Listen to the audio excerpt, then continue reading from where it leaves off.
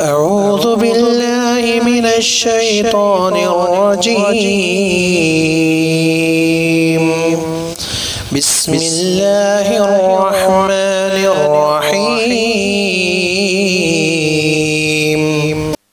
بسم الله الرحمن الرحيم.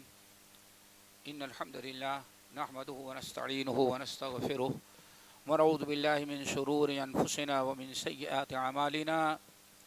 من يهده الله فلا مضل له ومن يضلله فلا هادي له وأشهد أن لا إله إلا الله وأشهد أن محمدا عبده ورسوله. يا أيها الذين آمنوا اتقوا الله حق تقاته ولا تموتن إلا وأنتم مسلمون. يا أيها الناس اتقوا ربكم الذي خلقكم من نفس واحدة وخلق منها زوجها وبث منهما رجالا كثيرا ونساء. واتقوا الله الذي تساءلون به والأرحام. إن الله كان عليكم رقيبا يا أيها الذين آمنوا اتقوا الله وقولوا قولا سديدا. يصلح لكم أعمالكم ويغفر لكم ذنوبكم. ومن يطع الله ورسوله فقد فاز فوزا عظيما. أما بعد فإن خير الحديث كتاب الله وخير الهدي هدي محمد صلى الله عليه وسلم وشر الأمور محدثاتها وكل محدثة بدعة وكل بدعة ضلالة وكل ضلالة في النار. محترم اور عزیز طلبہ اور بزرگ و دوستو، آپ حضرات نے سنا، شیخ عبد الوکیل کچھ اس طرح سے تعارف کروا رہے تھے کہ جس کے ہم مستحق نہیں ہیں۔ دعا کرو کہ اللہ جیسے ہمارے جماعتی احباب ہم سے امید رکھتے ہیں، اللہ تعالیٰ ویسے ہی ہم کو بھی بنا دے۔ تو سمجھ گئے نا، ورنہ واللہ، ویسے نہیں جیسے شیخ نے ہمارا تعارف کروایا اللہ تعالیٰ ان کو جزائے خیر دے۔ لیکن بس یہی کہ دعا کرو کہ اللہ تعالیٰ ویسے بنا دے۔ اور لوگوں کا جو حسن زن ہے اللہ تعالیٰ ان کے حسن زن کے مطابق ہم ہم کو کر دے۔ آپ حضرات نے سنا کہ یہ کوئی عام واد و نصیحت نہیں ہے۔ ایک جس کو دورہ علمیہ کہا جاتا ہے، ہمیں بھی صرف ایک دن یا دو دن پہلے بلکہ پرسوں ہمیں کچھ تفصیل معلوم ہوئی ہے۔ جب ہم بہار پٹنہ سے کہیں باہر پروگرام کے لیے جا رہے تھے، تو محترم شیخ عبدالحفی شیخ حسیب سلمہ کا ٹیلی فون آئے کہ ایسا ایسا پروگرام ہے، تب مجھے پتہ چلا کہ دروس علمیہ ہے یہ خصوصاً اربعین نبوی پر۔ اللہ رب العالمین نے اس امت پر بڑا کرم کیا۔ کہ کہا جاتا ہے، ہمارے بعض سلف کہا کرتے تھے کہ لوگوں الملا ایکت حراس السما اس شریعت کو جو اللہ تعالیٰ نے اپنے نبی کے ذریعے بھیجا ہے، اس کی حفاظت یہ دو جگہ رہی، ایک تو آسمان سے آنے میں اور دوسرا زمین پر آ جانے کے بعد لوگوں میں پھیلانے میں۔ تو جب اللہ رب العالمین نے آسمان سے اس وحی کو نازل کیا، اس وحی کو جب آسمان سے نازل کیا، تو اللہ تعالیٰ کے پاس سے لے کر نبی علیہ السلام تک کے پاس پہنچنے تک اس وحی کی حفاظت اللہ تعالیٰ نے فرشتوں سے کرائی ہے۔ فرشتے ذرہ برابر کوئی اپنی طرف سے کوئی بات اس میں داخل نہیں کر سکے۔ کیوں آپ حضرات جانتے ہیں کہ اللہ تعالیٰ نے آسمان پر فرشتوں کو جب اپنے نبی کو رسول و پیغمبر بنا کر بھیجنا چاہا، تو اللہ تعالیٰ نے آسمان پر فرشتوں کا پہرا مقرر کر دیا۔ اتنا تو سب لوگ جانتے ہوں گے، تاکہ کوئی دنیا میں کسی کاہن کا معقل اللہ تعالیٰ کے پاس پہنچ کر کے کوئی بات وہی میں ملا نہ سکے۔ فیدا خطف الخط فتح فتبراہ شہاب ثاقب۔ اب اگر اللہ تعالی کی بات سننے کے لیے کوئی موکل گیا تو اللہ فرماتے ہیں جیسے وہاں پہنچا، اللہ تعالیٰ نے فرشتوں کو آگ کا انگارہ دے کے بیٹھا رکھا ہے۔ فرشتے وہیں سے مار کے اس کو جلا دیتے ہیں۔ فاتباہ شہاب ثاقب سمجھو ایک قسم کا میزائل وہاں رکھا ہے، ایسا پیچھا کرتا ہے، اس کو جلا کے ختم کر دیتا ہے۔ تو وہی آئی، خالص، ذرہ برابر اس میں کوئی ملاوٹ نہیں ہو سکی۔ یہ تو شیطانوں سے اللہ نے محفوظ رکھا۔ لیکن اس زمین پر آ جانے کے بعد شیاطین انس، آپ حضرات جانتے ہیں کہ شیطان دو طرح کے ہیں۔ ایک ہے شیاطین جن اور دوسرے شیاطین انس، جنوں میں شیطان اور انسوں میں۔ اور دونوں کا تذکرہ اللہ نے قرآن پاک میں، اور دونوں ہمارے لیے نقصان دہ ہیں۔ کل اعوذ برب الفلق من شر ما خلق ومن شر غاسق اذا وقت کل اعوذ برب الناس، ملک الناس، الہ الناس، من من شر الوسواس الخناس۔ الذي يوسوس في صدور الناس من الجنت والناس۔ تو دو طرح کے شیطان۔ آسمان سے جب اللہ نے وہی کا نزول کیا، تو اس وحی میں باطل کی ملاوٹ نہ ہو سکے۔ شیطان کوئی بات اللہ کی وہی نبی کے فرمان میں شامل نہ کر سکے۔ تو اللہ تعالیٰ نے اس کی حفاظت کے لیے کس کو مقرر کیا؟ فرشتوں کو۔ لیکن جب زمین پر وہی آ گئی، اللہ تعالیٰ نے اپنے نبی کے ذریعے وہی الہی اور یہ دین و شریعت کتاب و سنت آگے پہنچانے کی باری آئی۔ صحابہ سے تابعین تابعین سے طب تابعین اور آج تک تو یہاں اب اس شیطان سے زیادہ نقصان دے شیاطین انس کے بجائے شیاطین جن جن کو کہا جاتا اہل بدا اہل بدا اہل احوا اہل ہوا سمجھ گئے نا؟ جو کہا جاتا ہے مبتدعین، یہ جو شیاطین ان سے تھی ان سے اس دین و شریعت کو کی حفاظت کرنے کے لیے اب فرشتوں کا کام ختم ہو گیا۔ اب قیامت تک اس وحی کی حفاظت جو کتاب اللہ، سنت رسول کی شکل میں ہے اہل بدع یا شیاطین انس کی ملاوٹ سے اس کی حفاظت یا اس کا غلط معنی مفہوم بیان کر کے تحریف اور تبدیل سے اس کی حفاظت کے لیے اللہ تعالیٰ نے اہل الحدیث کو پیدا کیا ہے۔ سمجھ گئے نا؟ اسی لیے ہمارے سلف کیا کہتے ہیں؟ الملا ایک تو حراس السما آسمان سے جب وہی آئی زمین تک تو اس کی حفاظت اللہ نے کس کے ذریعے کی؟ کس کی ذمہ داری تھی؟ فرشتوں کی۔ وہ اہل الحدیث حراس الارض۔ لیکن اس زمین پر، اس زمین پر جب آ گئی وہی اور یہاں اس کی تعلیم و تعلم کی نوبت آئی اور دعوت و تبلیغ کی، تو اب اس سے وہی کی حفاظت کے لیے اللہ تعالیٰ نے اہل الحدیث کو منتخب کیا ہے۔ اللہ تعالیٰ ہمیں اور آپ جیسے آج تک ہمارے اسلاف سے اللہ نے کام لیتا رہا، لیا، اللہ تعالیٰ آئندہ بھی ان کے خلف سے یہ کام لیتا رہے۔ جن اہل علم نے اس شریعت کی، اس دین کی، اس وحی کی حفاظت کیا ہے، ان میں ایک بڑے مشہور عالم جانتے ہیں، امام نووی ہیں جن کو آپ نے بھی نام سنا۔ امام ابو زکریہ یحییٰ بن شرف ہاں؟ النووی، مصر کی پیدائش ہے۔ شام میں آ کر کے انہوں نے زندگی گزاری۔ بڑے ذہین اور فتین تھے۔ اور ان کے اندر علم کا شوق اس قدر تھا۔ آج اللہ تعالی ہمارے اور آپ، ہمارے طلبہ کے اندر اللہ تعالیٰ یہ جذبہ پیدا کر دے۔ کہتے ہیں، کان یا دور ہو یہ علماء کے پاس ایک دن میں بارہ سبق پڑھتی تھی کتنا؟ بارہ۔ یعنی بارہ عالم کے پاس دن میں جاتے رہے صرف علم حدیث حاصل کرنے کے علم حاصل کرنے کے لیے۔ چھ سو اکتیس میں سات سو اکتیس میں اللہ چھ سو اکتیس میں ان کی ولادت ہوئی ہے۔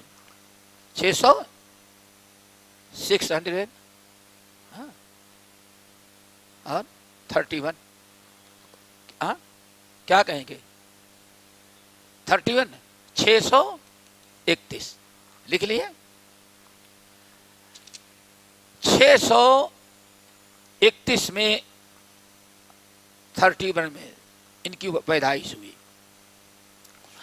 اور سات سو چھہتر سکس ہنڈریڈ، سیونٹی سکس میں ان کی وفات ہوئی۔ طلب علم کے لیے جو قربانی دیتے رہے، دن رات ہم نے کہا، روزانہ کتنے استاد سے پڑھتے تھے یہ؟ بارہ۔ اللہ نے عالم بنایا اور اللہ نے ان سے بڑا کام لیا۔ بڑے حقوں تھے، بے باک تھے۔ باطل سے کبھی سمجھوتا نہیں اور نہ باطل کا کبھی ساتھ دیتے تھے یہی عالم ربانی کا کردار ہوتا ہے کہ کبھی وہ دنیا کے پیچھے بکتا نہیں۔ گردن کٹ جائے لیکن حق پر قائم۔ امام بخاری کے ساتھ کیا ہوا؟ کبھی باطل سے سمجھوتا نہیں کیا۔ احمد بن حنبل سالوں جیل میں رہے۔ کبھی باطل سے سمجھوتا نہیں کیا۔ سمجھ گئے نا؟ کیوں؟ کہا جاتا ہے، عمر فاروق رضی اللہ تعالیٰ عنہ نے کعب حبار سے پوچھا کہ امت کیسے گمراہ ہوتی ہے؟ کہا، تین قسم کے لوگ برے ہو جائیں تو پوری امت خ... پوری امت ڈوب جاتی ہے۔ نمبر ایک، حاکم اگر بے دین و بادشاہ تو پورا ملک بے دین۔ نمبر دو پیر اگر خراب نکل گیا پھر سمجھتے ہیں نا؟ عابد، بزرگ، جس کو لوگ اللہ والا سمجھتے ہیں، وہ اگر برائی کرنے لگا تو برائی عام۔ اور ان تینوں میں ان دونوں سے سب سے زیادہ خطرناک تیسرا ہے کون؟ جب عالم بے دین ہو جائے اور عالم سرات مستقیم سے بھٹک جائے۔ اسی لیے علماء نے، ہمیشہ علماء حق نے ہمارا داری سمجھی۔ کبھی یہ اپنے آپ کو دنیا داروں یا بادشاہوں کے ہاتھ بیچا نہیں، ہمیشہ حق کوئی سے کام لیتے رہے۔ سب سے بڑا اس وقت کا بادشاہ ملک ظاہر بیبرس، جس کی حکومت بڑی مشہور ہے، اس نے ایک مرتبہ ایک فتویٰ صادر کرنا چاہا اور تمام اپنے درباری علماء سے فتویٰ لے لیا۔ کچھ لوگوں نے کہا، ہم لوگوں نے تو کر دیا ہے، لیکن وہ نووی جو ہے، اس کو لوگ بہت مانتے ہیں۔ جب تک وہ فتویٰ نہیں کرے گا، ہو سکتا ہے لوگ قبول نہ کریں۔ امام نووی کو بلایا گیا دربار میں، ہلکے پھلکے انسان تھے۔ امام نووی آئے۔ تو شاہ بیبرس نے کہا ہے اس پر دستخط کرو۔ کہا، پڑھ لوں۔ پڑھنے کے بعد کہا، میں دستخط نہیں کرتا۔ میں دستخط نہیں کرتا۔ کہا کیوں؟ کہا اس میں جو آپ نے قرارداد پاس کیے، اس میں غیروں پر ظلم ہے۔ اور کسی ایسے فتوے پر ہم دستخط نہیں کر سکتے جس کے نفاذ میں ظلم رعایا پر کیا جائے۔ کہا تم جانتے نہیں کون ہو، کون میں ہوں؟ کہا جانتا ہوں آپ بادشاہ سلامت ہیں۔ کہا میں جو چاہوں کر ڈالوں۔ کہا کہ آپ کو اختیار ہے۔ بہرحال، پہلے تو تلوار منگایا کہ قتل کریں، لیکن اچانک ہاتھ میں لڑزہ تاری ہوا، تلوار رکھ دیا۔ کہا، چھوڑ دے اس کو۔ چھوڑ دیا۔ لیکن انہیں باطل کے ساتھ سمجھوتا نہیں کیا گئے۔ چلے جانے کے بعد اس نے کچھ بدماشوں کو پیچھے لگایا کہ میرے فتوے کے پر دستخط نہیں کرتا، اس کو قتل کر دو۔ لیکن اللہ رب العالمین نے بچایا۔ کیونکہ ان تنصر اللہ ینصرکم، اگر تم اللہ کے دین کی مدد کرو گے تو اللہ تمہاری مدد کرے گا۔ اللہ تعالی نجات دی۔ سارے دستخط کرنے والے علماء پہنچے۔ بادشاہ سلامت، آپ دیکھتے نہیں کہ آپ کی کیسی نافرمانی کر رہا ہے؟ آپ نے کیوں اس کو چھوڑ دیا تلوار مگا کر کے؟ کہا کہ اللہ کی قسم، تلوار سے اس کی گردن مارنا چاہا تو میرے دل میں اتنی ہے بتائی کہ تلوار ہمارے ہاتھوں سے گر گئی۔ ہماری مجبوری تھی۔ تو انہوں نے بہت ساری کتابیں لکھی، بڑی کتابیں لکھی، اور سب سے میں اپنی زندگی میں ان کی جن کتابوں سے سب سے زیادہ فائدہ اٹھایا اور پوری امت اٹھا رہی ہے، اور وہ بھی اہل الحدیث خصوصاً اس شرح مسلم ہے، شرح مسلم۔ آج جتنے مسلم صحیح مسلم کے نسخے اکثر و بیشتر تباہ ہوتے ہیں۔ اس پر جو شرح ملتی ہے امام نووی کی۔ اور ایک چیز اور بتا دیں۔ یہی امام نووی ہیں۔ یہ چیز آپ لوگ یاد رکھیے گا۔ اور کام آئے گا انشاءاللہ۔ امام نووی پیدا کب، وفات کب پائے؟ چھ۔ Six, seven, six. چھ سو کیا بولا میں نے؟ سکس ہاں سکس سیون سکس ہاں سکس سیون سکس سوچیں، اس وقت انتقال ہوئے، آپ کیا کہیں گے تو؟ ساتویں صدی ہجری کی ابتدا. کیا کہیں گے؟ چھٹی صدی ہجری کا آخر اور ساتویں صدی ہجری کا کی ابتدا. یہ چیز نوٹ رکھ لیے گا آپ لوگ، کام آئے گی انشاءاللہ. اس شرح کے اندر پرانی جو کتابیں ہیں، ان میں یہ شرح مسلم شرح مسلم امام نوی کی۔ کتاب الایمان سے لے کر کے آخر تک پچاسوں جگہ انہوں نے نقل کیا۔ ہادا قول ابی حنیفتا وہادا قول الشافعی و قول اہل الحدیث۔ یا وضحب اہل الحدیث آگئی بات سمجھ میں؟ امام شافعی مذہب حنفی یہ ہے، مذہب شافعی، اور اہل الحدیث کا مذہب یہ ہے۔ کیا پتا چلا بیٹے؟ ہاں کیا پتا چلا کہ اس وقت ان کے پیدا ہونے کے پہلے بھی اہل الحدیث موجود رہے؟ کیوں؟ اتنی پرانی کتابوں میں وہ مذہب و اہل یہ اہل الحدیث کا مذہب ہے۔ اس کا مطلب کہ اس مذہب کے نام؟ کچھ لوگ کہتے ہیں انگریزوں نے پیدا کیا۔ بھائی، وہ انگریز کہاں پیدا ہوئے تو اس وقت؟ آئی بات سمجھ میں؟ تو یہ یہ کتاب کون؟ شرح مسلم۔ نمبر دو، ریاض الصالحین۔ نمبر تین، اربعین نووی۔ اس کتاب کا نام اصل میں اربعون۔ اربا کے معنی آتے ہیں چار اور اربا کی جمع اربعون۔ یعنی چار کیا کہیں؟ چار دس۔ کیا کہیں گے؟ چار دس تو کتنا ہو جائے گا؟ چالیس۔ اربعون، چالیس۔ سمجھ گئے نا؟ ہمیشہ سے سلف کا ایک بڑا انداز رہا۔ یاد رکھیے گا، چالیس حدیثوں پر کوئی کتاب لکھنے کا۔ چالیس حدیثوں پر کوئی کتاب لکھتے تھے۔ بہت سارے علماء نے چالیس اربعون، کیا؟ اربعون۔ اربعون بہت سارے علماء نے لکھے تو بہت بان میں لکھے۔ ہم چند کے نام آپ کو بتاتے ہیں، اس کو نوٹ رکھیں تاکہ یہ بھی پتا چلے کہ کوئی اس سے پہلے بھی بہت ساری اربعون تھی۔ نووی نے کوئی نئی چیز نہیں لکھی، اربعون۔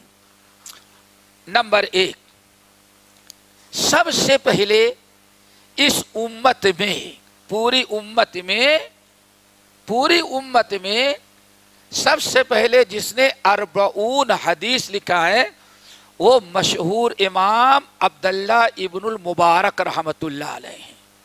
کون ہیں؟ امام عبداللہ ابن المبارک مبارک۔ اور یہ امام احمد بن حنبل وغیرہ سے عمر میں بڑے۔ احمد بن حنبل کے اساتذہ کے ہم معاشر ہیں۔ امام عبداللہ ابن مبارک نے سب سے پہلے اربعون لکھی ہے۔ سمجھ گئے نا؟ اربعون۔ اور عبداللہ بن مبارک، بات آ گئی تو بتائیں، اللہ تعالیٰ سے دعا کرو ہمارے اور آپ کے اندر پیدا ہو جائے سو۔ ان کے اندر حدیث کی خدمت کرنے، حدیث کے یاد کرنے، حدیث کے پڑھنے کا جذبہ کیسا تھا؟ اپنی مسجد میں نماز عشاء ادا کی۔ نماز عشاء ادا کی۔ نماز عشاء پڑھ کر کے فارغ ہونے کے بعد مسجد کے باہر نکل رہے تھے تو پرانے زمانے میں ایسا گیٹ تو ہوتا نہیں تھا۔ ایک لکڑی کا گیٹ بنا اسی پر ٹیکا دے کر کے جوتا پہن رہے تھے۔ کون؟ عبداللہ ابن المبارک۔ اور مؤثن مسجد بند کرنے کے لیے کھڑا تھا کہ مسجد بند کر کے پھر جائے گا۔ مؤثن چابی لے کر کے دروازہ بند کرنے کے لیے در مسجد کے دروازے پر کھڑا۔ احمد بن حنبل ایک جوتا پہنے اور دوسرا جوتا پہننے کے لیے ٹیک لگا کر کے کھڑے تھے۔ اتنے میں باہر سے ایک آدمی آ گیا۔ رات کو عشاء کے بعد آیا۔ السلام علیکم۔ وعلیکم السلام۔ مجھے فلاں حدیث سنا دیں۔ وہ اس نے حدیث پوچھا کہ طرح فلاں حدیث کی راوی صنعت بیان کریں۔ احمد بن حنبل نے حدیث سنا۔ اب عبداللہ بن مبارک نے حدیث بیان کرنا شروع کیا۔ ایک حدیث بیان کی۔ اس نے اور کوئی سوال کر دیا۔ دوسری تیسرا سوال کر دیا۔ بہت دیر تک سوال کرتا رہا۔ اب احمد، عبداللہ ابن مبارک جواب دیتے جا رہے ہیں۔ علماء کی بڑی قدر ہوتی تھی۔ موزن بھی ٹھیک ٹھاک تھا۔ اب کہہ تو نہیں سکتا بھائی، بحث وہاں جا کر کے میں مسجد بند کرنا ہے ہاں؟ ایسے نہیں کہا۔ وہ بیچارہ انتظار کیا۔ آخرکار چھوڑ کر کے چلا گیا۔ چھوڑ کر کے چلا گیا بیچارہ۔ چوتھا سوال، جواب۔ پانچواں اللہ سوال کرتا رہا، اللہ مؤذن کہتا ہے، ہم اذان فجر دینے کے لیے آئے۔ تو احمد بن حنبل کو ویسے ہی کھڑا دیکھا۔ عبداللہ ابن مبارک کو ہم نے ویسے ہی کھڑا دیکھا جیسے چھوڑ کر کے گئے تھے عشاء کے بعد۔ ساری رات جس حالت میں میں چھوڑ کے گیا تھا، ابن مبارک اسی حالت میں کھڑے تھے۔ وہ سوال کرتا رہا اور یہ جواب دیتے رہے، میں آدان فجر دینے کے لیے رات گزار کے مسجد میں آ گیا۔ اللہ تعالیٰ یہی شوق، جذبہ ہم سب کے اندر پیدا کر دے۔ سننے کا بھی اور سنانے کا۔ عمل کا تو ہونا چاہیے سنانے کا بھی ہاں۔ تو پہلے کون ہے؟ عبداللہ ابن المبارک۔ نمبر دو، محمد بن Aslam اتوسی Muhammad bin Aslam. Muhammad bin Aslam اتوسی یہ بھی تا. الف تا واو تا تا والا تے نہیں، تا. اتوسی اللہ اکبر. یہ بھی بڑے ہاں. ان کے متعلق بھی ذرا سا آ گئی بات محمد اسلم توسی کے بارے میں. عالم با عمل تھے زیادہ عالم تو نہیں تھے احمد بن حنبل ابن مبارک طرح نہیں۔ لیکن تھے لیکن حدیث سے محبت تھی، بڑے عابد تھے۔ ان کا ان کا ان کا شمار ولیوں میں عباد اور زہاد میں ہوتا ہے۔ انہوں نے لکھی کیا؟ اربعون۔ اور ان کے متعلق اتنا یاد رکھیے گا، بڑی عبادت ریاضت تو کرتے تھے، بڑا زہد تھا۔ ان سے کسی نے پوچھا، ان کے زمانے میں کسی نے پوچھا کہ اہل السنہ کون ہے؟ اہل السنہ والجماع کون ہے؟ تو سامنے والے نے کہا کہ ابو بکر، کہا اور کون تھے؟ کہا عمر، کہا اور کون تھے؟ کہا فلاں۔ تو سوال کرنے والے نے کہا، جتنوں کا نام لیا وہ تو سب جا چکے ہیں، ابھی بتاؤ کون ہے؟ کہا اس وقت دنیا کے سارے اہل سنت والجماعت اہل الحدیث کے امام محمد بن اسلم توسی ہے کیا ہے؟ یہ وقت کے یہ ہے کتاب سنت عمل کرنے والے جو بدعت کے ساتھ کبھی سمجھوتا نہیں کرتے۔ ہو گئے؟ دو ہو گئے؟ نمبر تین۔ الحسن بن سفیان۔ الحسن الحسن بسف بن سفیان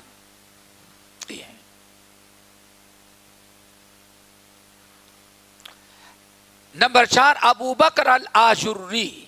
ابو بکر ابو بکر الآجری۔ آجری۔ امام ابو داؤد رحمت اللہ علیہ وغیرہ کے شاگردوں میں سے۔ کتنے ہو گئے؟ نمبر پانچ، ابو بکر محمد بن ابراہیم الاسفہانی ابو بکر محمد بن ابراہیم الاسفہانی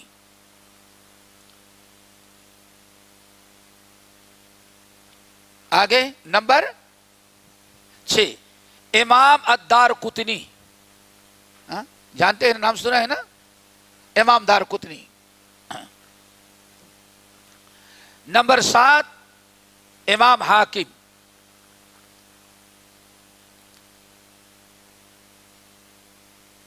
نمبر آٹھ، کہ نو۔ آٹھ۔ امام ابو عبد الرحمن السلمی۔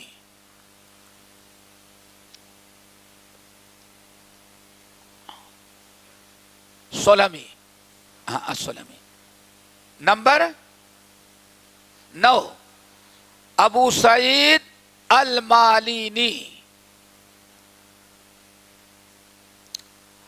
المالینی۔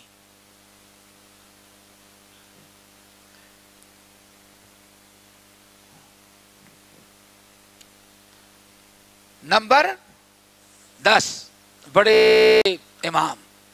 ہاں۔ امام ابو عثمان الصابونی۔ ان کو ذرا یاد رکھنا۔ ہاں۔ اپنے وقت کے جس اہل بدعت کے مقابلے میں پانچویں صدی میں سب سے بڑے امام ملیں گے، وہ یہی ہیں۔ امام ابو ابو عثمان الصابونی، ان کی بڑی کتابیں ہیں، توحید پر، عقیدے پر، منہج سلف پر۔ ان کی بڑی کتابیں ہیں۔ صابونی صابونی سے مشہور ہیں۔ اور وہ صابونی نہیں جو آج ہے۔ ہاں۔ جی جی۔ Muhammad bin Abdullah Alansari, number eleven eleven. Muhammad bin Abdullah Alansari.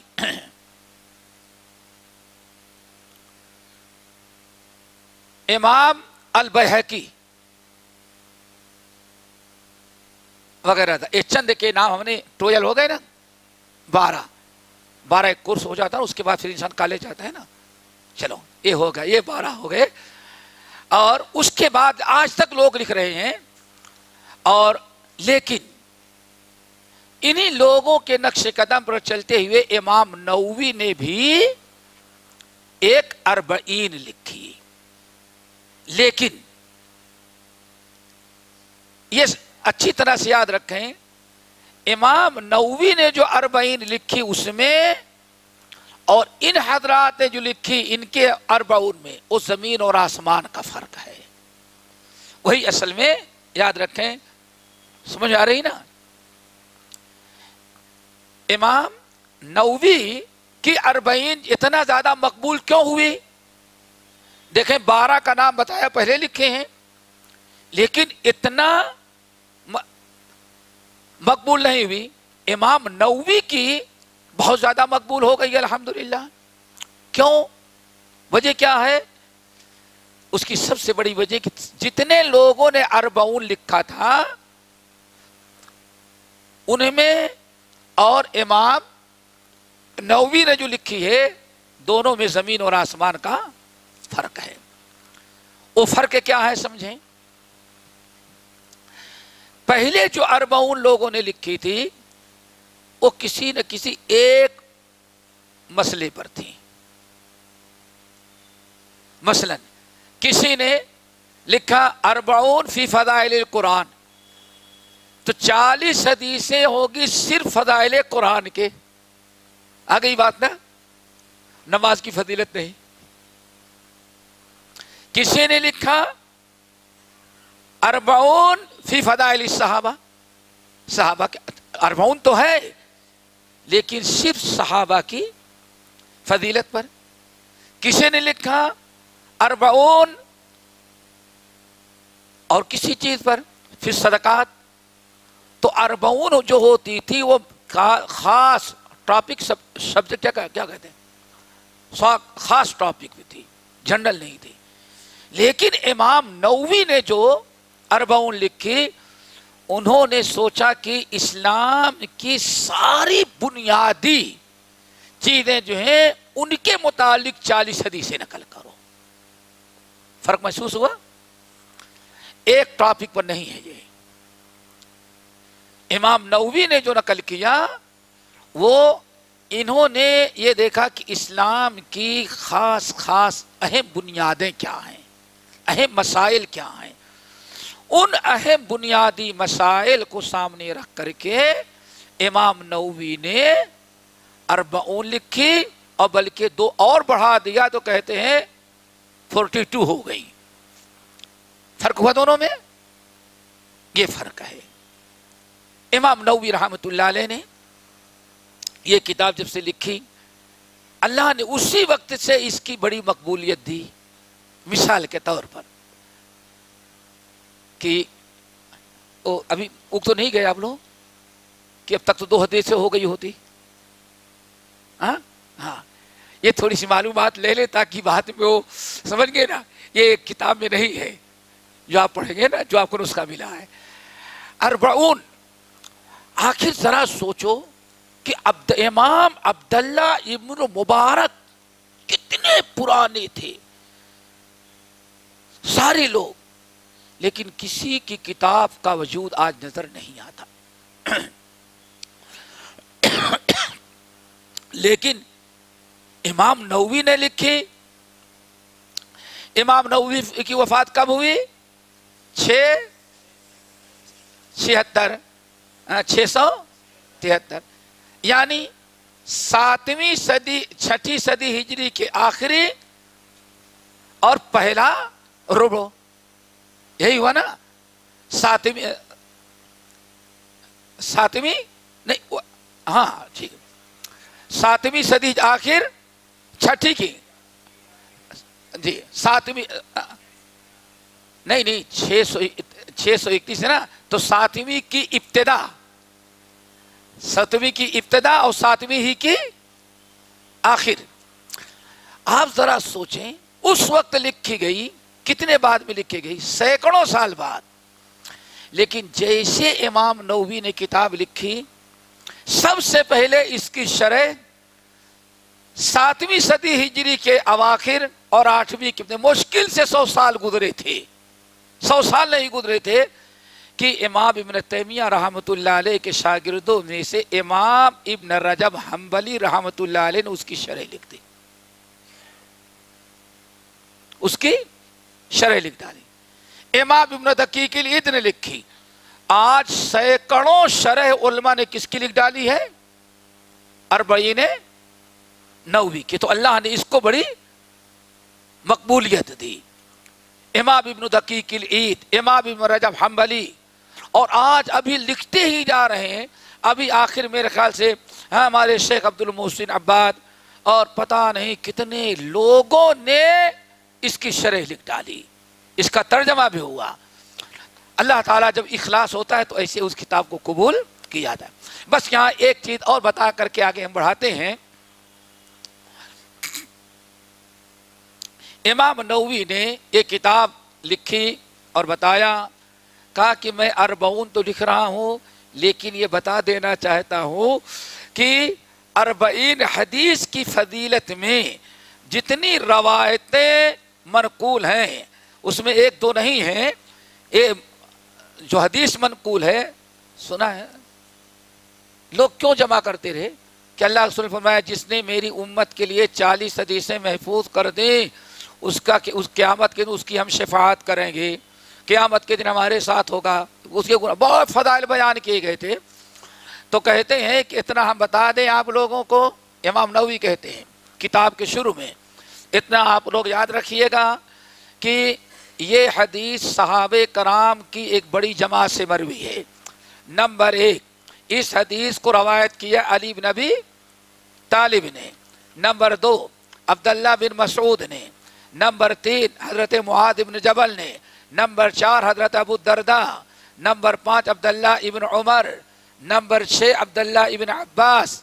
Number سات، انس بن مالک۔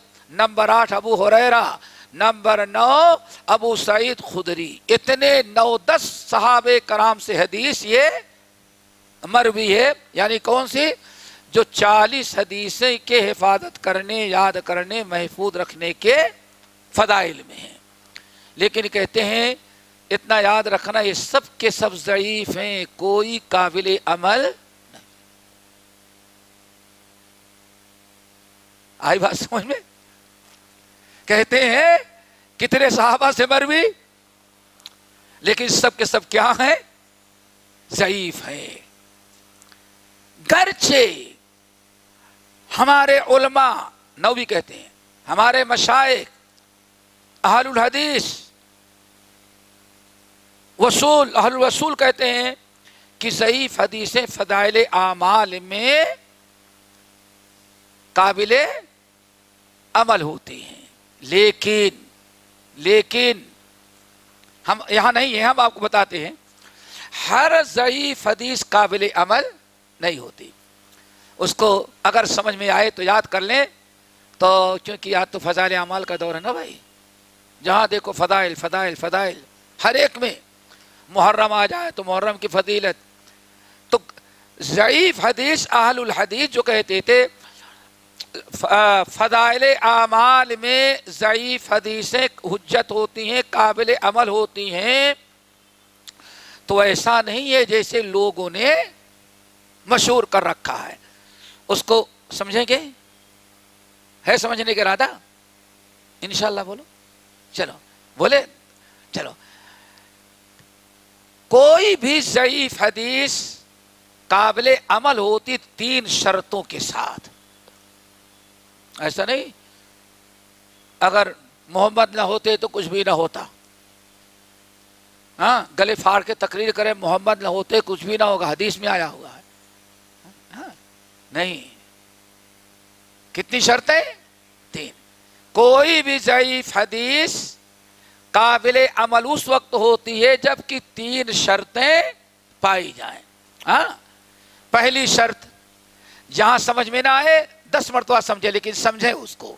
ابھی نہیں، بعد میں سمجھے، ابھی سمجھے۔ کوئی بھی ضعیف حدیث قابل حجت کب ہوتی ہے؟ تین شرطوں۔ نمبر ایک، پہلی شرط، وہ حدیث شدید ضعف نہ ہو یعنی بہت زیادہ ضعف نہ ہو۔ ہاں؟ زیادہ ضعیف نہ ہو یعنی ایسی حدیث نہ ہو جس کی روایت کرنے والا دجال قذاب سمجھ گئے نا؟ مکار ہو، دیندار ہو، مسلمان ہو، سچا ہے۔ جھوٹ بولے مشہور، معروف نہیں کہ ہاں جھوٹا آدمی ہے۔ لیکن ہو سکتا ہے کہ حافظہ تھوڑا سا کبھی ہو گیا ہو، کمزور ہو گیا ہو۔ دیکھ کے پڑھنا نہ آتا ہو، آنکھیں تھوڑی سے بھولنے کی بیماری کبھی ہو جاتی انسان کو۔ انسان دیندار ہے، پرہیزگار ہے، متقی ہے، بڑا نیک انسان ہے، لیکن بھولنے کی بیماری تھوڑی سی لگ گئی۔ سمجھ گئے نا؟ اس کا اپنا قصور تو نہیں ہے۔ اب حدیث تو ضعیف ہو گئی، ہو سکتا ہے حضرت بیان کرنے میں بھول گئے ہوں گے۔ سمجھ گئے نا؟ کچھ بھول جاتا ہے نشان داری اگر معمولی سا ضعف ہے کتاب دجال، مکار ایار نہ ہو، راوی، تھوڑا سا سند میں کیا ہو؟ ضعف بہت کم ہو۔ نمبر دو نمبر دو، اس حدیث میں جس چیز کی فضیلت بیان کی گئی ہو، وہ چیز بس صحیح ثابت ہو۔ یعنی جس حدیث کی اس ضعیف حدیث میں جس چیز کی فضیلت بیان کی جا رہی ہے، فضیلت سمجھتے ہو نا؟ وہ اصل چیز صحیح حدیثوں سے ثابت ہو۔ جیسے نماز با جماعت نماز کی فضیلت ثابت ہے، نماز کی فضیلت ثابت ہے، قرآن سنت سے، نفلی روزے کی فضیلت ثابت ہے رمضان کی بہت ساری فضیلتیں ہیں۔ اب اگر رمضان کی فضیلت میں کوئی ایسی ضعیف حدیث مروی ہے جو زیادہ ضعیف نہیں، بس ایک اس میں تھوڑی سے کچھ فضیلت زیادہ بیان کر دی گئی، تو وہ قابل قبول ہوگی۔ لیکن اس چیز کا کوئی وجود ہی نہ ہو، کوئی فضیلت ہی اس کی نہ ہو۔ پھر بھی ضعیف حدیث سے اس کی فضیلت بیان کی جائے، حالانکہ وہ چیز ثابت ہی نہیں۔ تو ایسی ضعیف حدیث قابل قبول نہیں ہے۔ دو شرطیں ہو گئی بیٹے۔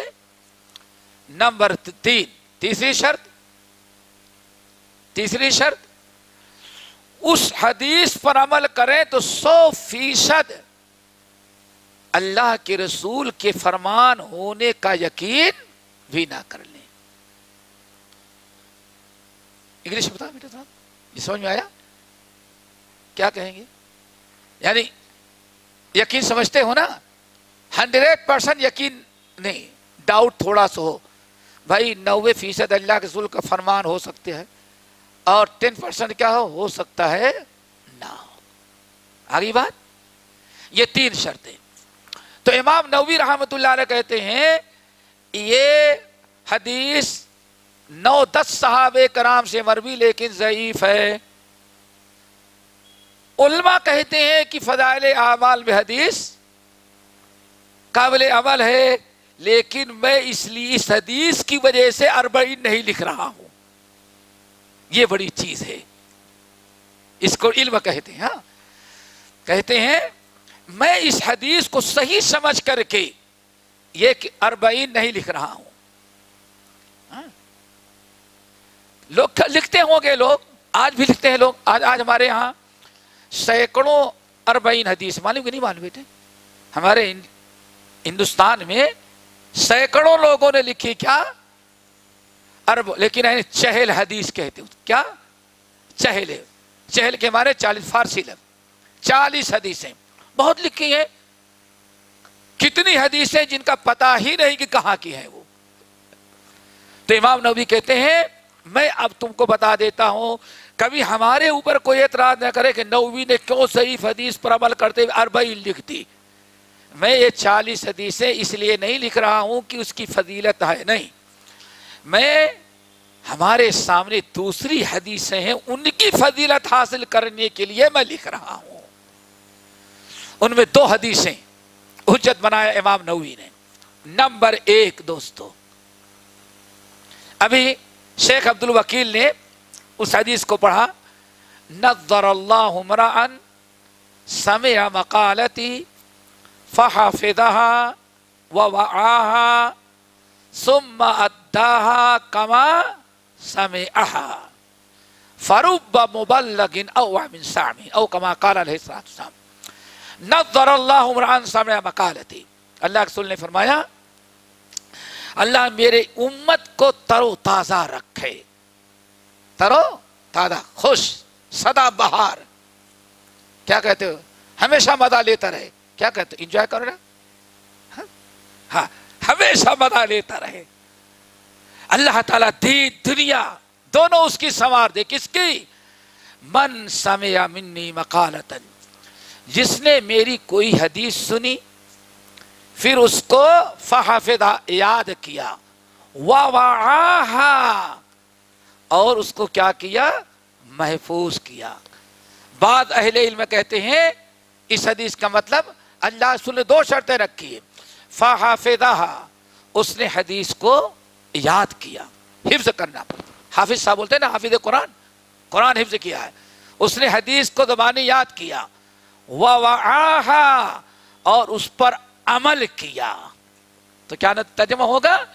جس نے میری حدیث سنی، یاد کیا، عمل کیا سم پھر اپنے پاس نہیں رکھا، غیروں کو پہنچا دیا۔ تو امام نبی کہتے ہیں، اس حدیث میں حدیث یاد کرنے، عمل کرنے اور غیروں تک پہنچانے کے والے کے لیے۔ اللہ کے رسول نے دعا دی ہے، اس دعا کا مستحق بننے کے لیے میں نے لکھی ہے۔ اور امام امام ابن کثیر رحمت اللہ علیہ نقل کرتے ہیں، اللہ غضب کی بات کہتے ہیں، اگر علماء اور علم کی، طالب علم کی فضیلت میں کوئی آیت، کوئی حدیث نہ بھی ہوتی، تو یہی ایک حدیث کافی تھی بشارت کے لیے۔ اتنی بڑی بشارت اور کیا ہو سکتی ہے کہ نبی کی دعا ملی؟ اسی لیے الحمدللہ نبی کی دعا ایسے لوگوں کے ساتھ رہتے ہیں امام تاؤس کا نام سنا ہے ہاں امام تاؤس یمن کے بہت بڑے محدث تھے، امام تاؤس یمانی، یمن کے رہنے تھے۔ یہ شام کے ایک شخص کو، ملک شام کا ایک شخص اس نے سوچا بہت بڑے محدث موجود ہیں، چلیں ان سے حدیث حاصل کر کے آئیں۔ حدیث حاصل کرنے کے لیے یمن کی طرف گیا ہو۔ جب یمن کی طرف گیا، ڈھونڈتے ہوئے ان کے محلے میں پہنچا۔ محلے میں جانے کے بعد لوگوں سے پوچھا، کاجے، ان کا گھر ہے؟ دروازہ کھٹکھٹایا۔ دروازہ کھٹکھٹایا۔ تو ایک کہتے ہیں، دروازہ کھولنے والا اتنا بوڑھا تھا کہ آنکھیں اندر گئی ہیں۔ بال پورے سفید ہو گئے ہیں اور یہ چمڑے جو ہیں اس کے ایسے کبھی آدمی موٹا رہتا ہے تو بڑھاپے میں چمڑے گوشت سوکھ جاتا تو چمڑے ایسے چمڑے لٹک رہے ہیں۔ میں نے کہا، اتنا بوڑھا ہم کو کیا حدیث سنائے گا؟ میں نے کہا، السلام علیکم۔ انت تاؤس آپ امام تاؤس ہیں؟ کہا لا لا، انا ابن ہوں میں ان کا بیٹا ہوں۔ میں کون ہوں؟ میں ان کا بیٹا ہوں۔ مجھے باپ سمجھتے ہو۔ اب اس طالب علم کہتا ہے، میں تھوڑا سا پیچھے گیا جب بیٹا اس عمر کا ہے تو بیٹا باپ کس کام کا ہوگا؟ بڑی حیرت ہوئی۔ ہم نے کہا، میں نے میری میری ساری محنت رائے کھا گئی۔ اب اتنا بوڑھا بیٹا ہے تو باپ کیا سکھلائے گا؟